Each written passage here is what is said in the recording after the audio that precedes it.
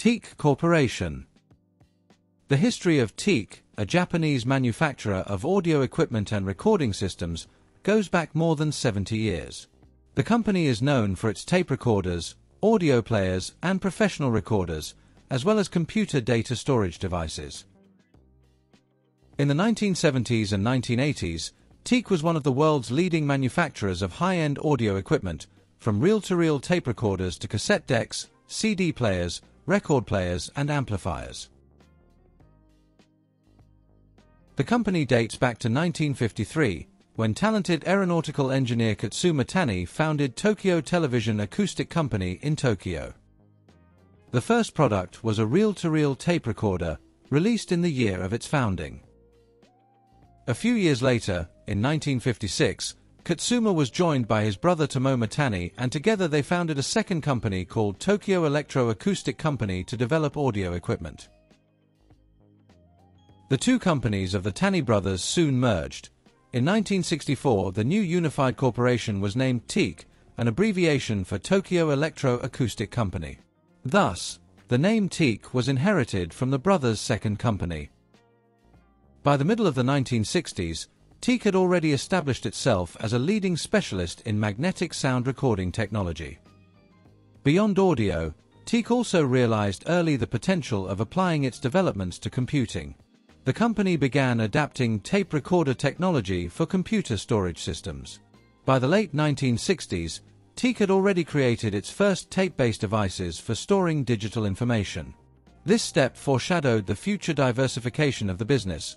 Subsequently, the data storage business became one of the main sources of the corporation's income.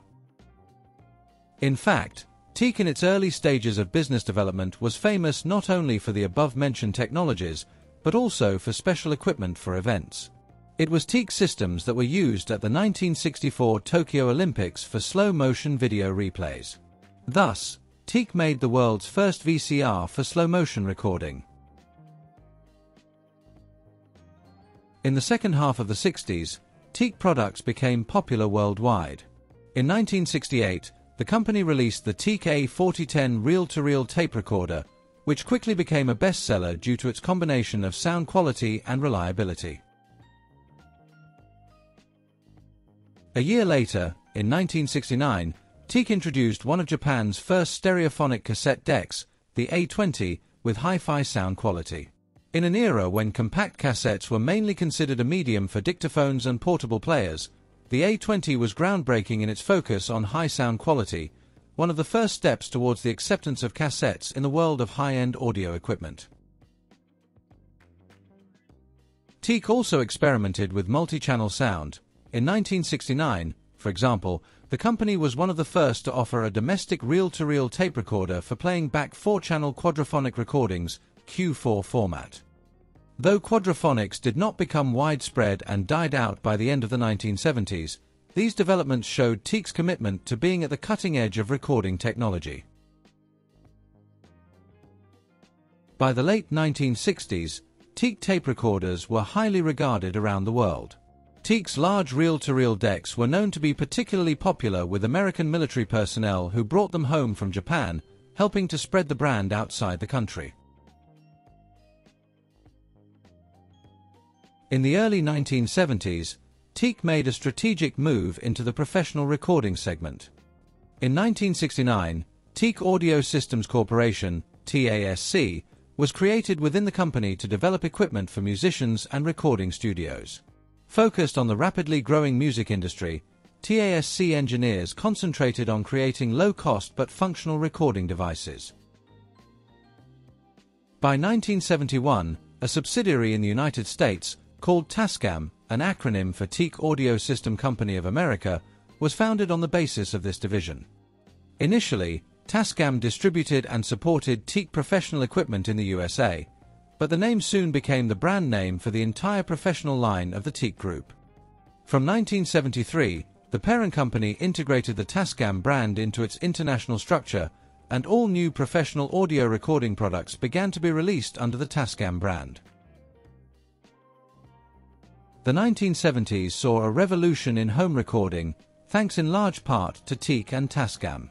In 1972, the company introduced consumer 4-track reel-to-reel tape recorders with Simulsync technology that allowed overdubbing during recording. The TEAC A3340 and the related A2340 gave musicians the ability to create multi-track recordings at home, which previously required access to expensive studio tape recorders.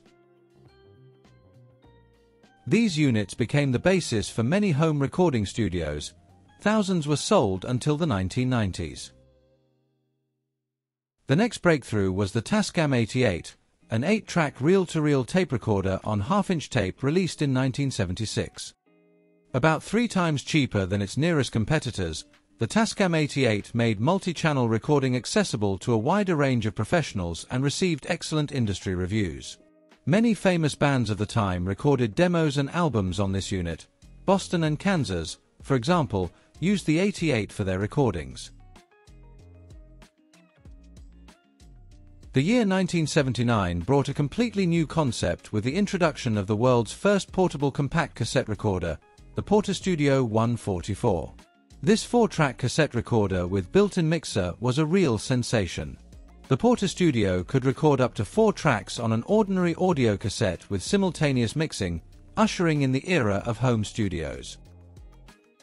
For the first time, enthusiastic musicians were able to create multi-channel recordings on their own at minimal cost. The success was colossal, with over 1 million portable studios of various models sold worldwide over the following decades. Bruce Springsteen's iconic album Nebraska, 1982, was recorded on a TEAC 4-track portable. The musician created it at home on the Portastudio system, which emphasizes the potential of this technology. By the end of the 1970s, TEAC had not only won over the audiophile public, but had also established a global network of divisions. Branches were established in the US, UK, Germany, France, Belgium, Australia, and other countries. TEAC Corporation of America, TCA, the US division, played a special role in making the TEAC brand one of the fastest growing in the US home audio market. TEAC products of the late 70s and early 80s covered both the mass hi-fi segment and the professional market. In addition to the multi-track systems mentioned above, the company also produced popular two-track reel-to-reel decks for home audiophiles. An interesting touch of the time, TEAC produced CRC-90 audio cassettes with flywheels stylized as miniature reels, resembling the appearance of bobbins. Such cassettes with spools looked very spectacular, and many cassette deck manufacturers used them in advertising photo shoots to emphasize the professionalism of their machines. The 1980s were a period of exploration of new technological horizons for TEAC. On the one hand, the company continued to strengthen its position in audio as it moved into the digital media era, and on the other hand, it became a major player in computer drives and peripherals. TEAC made a major step in the computer industry with the world's first 5.25-inch floppy disk drive in 1978. These drives became key components of the first generations of personal computers and mini-computers. Then, in 1983, TEAC was one of the first to produce a new, smaller drive format, 3.5-inch floppy disks. This format soon became the industry standard for PCs. However, a patent dispute arose, Sony and Mitsubishi accused TEAC of infringing patents on 3.5-inch floppy disks. The case was settled by a settlement agreement. TEAC paid compensation and license fees, and then continued to produce drives. At the same time, TEAC was expanding its line of professional recording devices. In 1982, the company entered the digital audio market, it introduced one of the first consumer CD players and was actively involved in the development of the compact disc. The company paid special attention to the highest class of audio equipment. This is how the high-end division was born. In 1987, TEAC founded the Esoteric premium brand aimed at the most demanding audiophiles. Esoteric's debut devices, the P1 Transport and D1 DAC, created a sensation by pioneering the original VRDS, vibration-free rigid disc, technology developed by TEAC engineers. The essence of VRDS is that the disc in the CD player is pressed against a massive table exactly corresponding to its diameter, which dampens vibrations during rotation. This design greatly improves reading stability and sound quality. The first VRDS player, TEAC Esoteric P1, 1987, immediately caught the attention of the audio community. Later on VRDS mechanisms became a trademark of Esoteric and were used not only in TEAC products, but also, for example, in professional CD players Tascam for radio stations.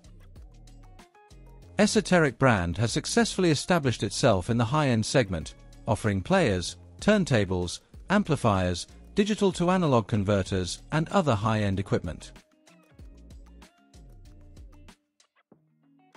Despite the advent of digital media, magnetic tape remained an important part of TEAC's business in the 1980s, but more so in professional and industrial applications. For example, TEAC began to supply specialized VCRs and voice recorders for aviation and space applications. TEAC's developments were used by the US Air Force. TEAC VCRs were installed on F-16 fighters, and modified versions were even used in NASA Space Shuttle program.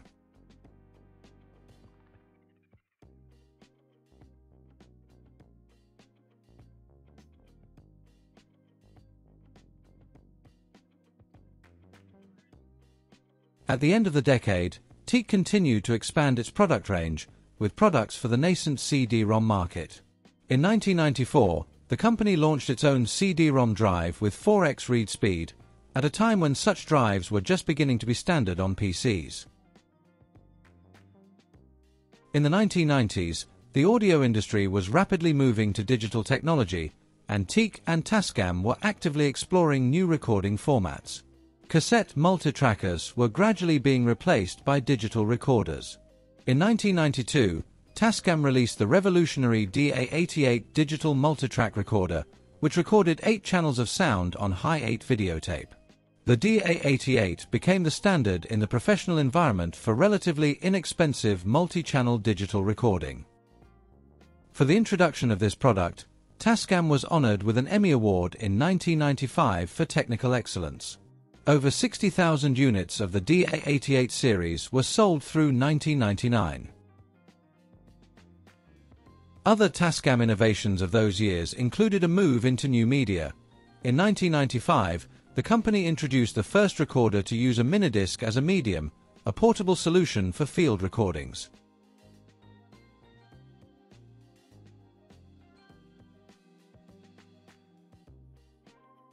Tascam also entered the software market.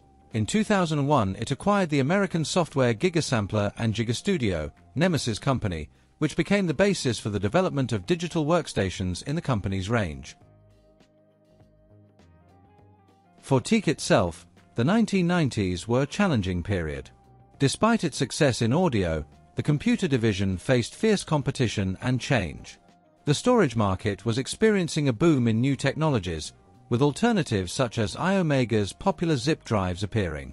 Production in the industry was increasingly shifting to regions with cheaper labor, Taiwan, then China, which intensified price pressure. By the mid-1990s, TEAC's profitability had declined, and the company was even recording losses. However, TEAC tried to respond with innovations.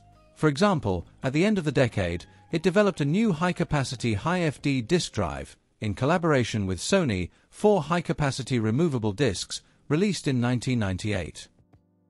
Although Hi-FD did not become widely used, these efforts demonstrated TEAC's desire to keep up in the technology race. At the same time, the audio division continued to delight enthusiasts.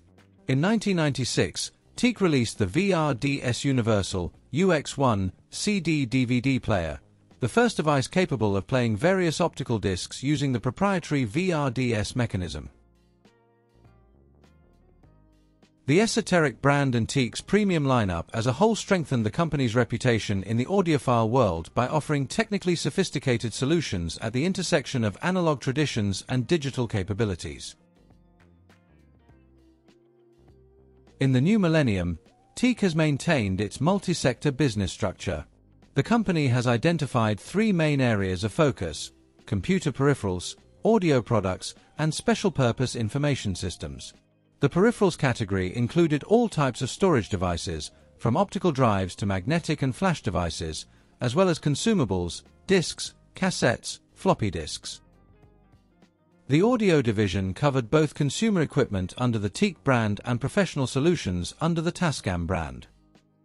The third area, information and industrial systems, included specialized recorders for medicine, the aerospace industry, in-flight entertainment systems, security and measurement systems.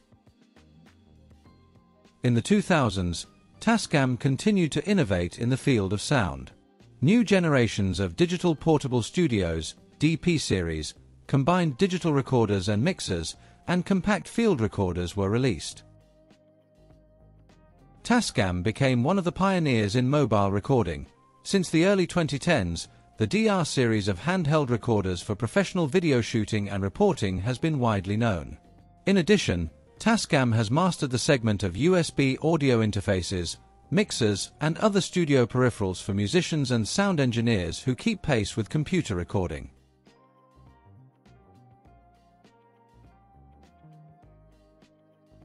In 2013, the American company Gibson Brands, a well-known guitar manufacturer, acquired a controlling stake in TEAC, more than 50%.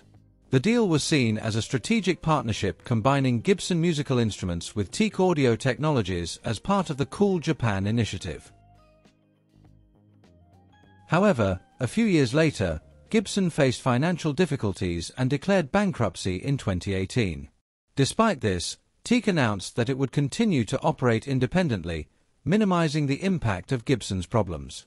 As a result, the Japanese company retained its brand and independence, surviving a change in its main investor. Today, TEAC continues to develop and manufacture a wide range of audio equipment, from consumer to professional. In the mass market segment, TEAC offers modern devices for music lovers, compact hi-fi components, such as the Reference 500 700 series, network audio players and DACs for high-res audio, turntables, including models with Bluetooth support and digital outputs, cassette decks for lovers of retro formats, CD players and amplifiers. The company strives to combine retro aesthetics with the latest technologies. The professional line is represented by the Tascam brand, which celebrated its 50th anniversary in 2021. Today, Tascam manufactures portable recorders, desktop multi-channel recorders and mixers, audio interfaces for computers, conference and broadcast recorders, professional CD recorders and players, as well as updated digital portable studios, DP series with 6 to 32 tracks recorded to internal memory or SD cards. When it comes to high-end products, the Esoteric brand remains synonymous with the highest sound quality. Esoteric's range now includes CD and Super Audio CD players, DACs, master clocks, amplifiers and even acoustic cables, everything for discerning audiophiles. The price range for this equipment runs into the thousands and sometimes tens of thousands of dollars, but it demonstrates technical perfection. Esoteric engineers continue to improve the famous VRDS mechanism. For example, in 2023, TEAC celebrated its 70th anniversary with the release of a special series of the VRDS 701 CD player and VRDS 701T transport with an updated drive and its own discrete converter. These devices reflect TEAC's philosophy, respect for classic media combined with support for the latest audio formats, DSD, MQA, and so on. Over more than seven decades, TEAC has grown from a small workshop into a global corporation, becoming one of the companies that have defined the development of sound recording technology. TEAC continues to create products with attention to detail, serving both music lovers and industry professionals. The history of TEAC is a story of progress, combining technical innovation and a love of music, which has allowed the brand to occupy a special place in the world of audio. And so another episode has come to an end. I hope you enjoyed it. As always, don't forget to like, subscribe, and support the channel through sponsorship or the thank you button. It really motivates and helps develop the channel. Thank you to everyone who supports this project.